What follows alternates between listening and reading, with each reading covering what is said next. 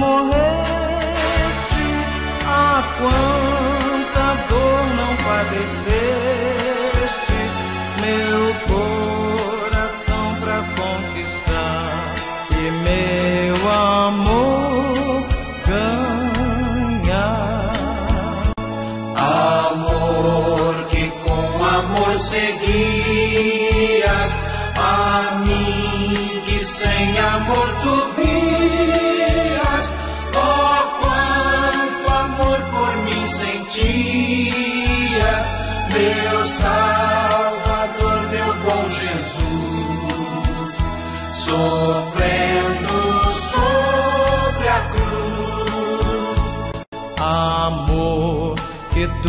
me perdoas, amor, que até mesmo abençoas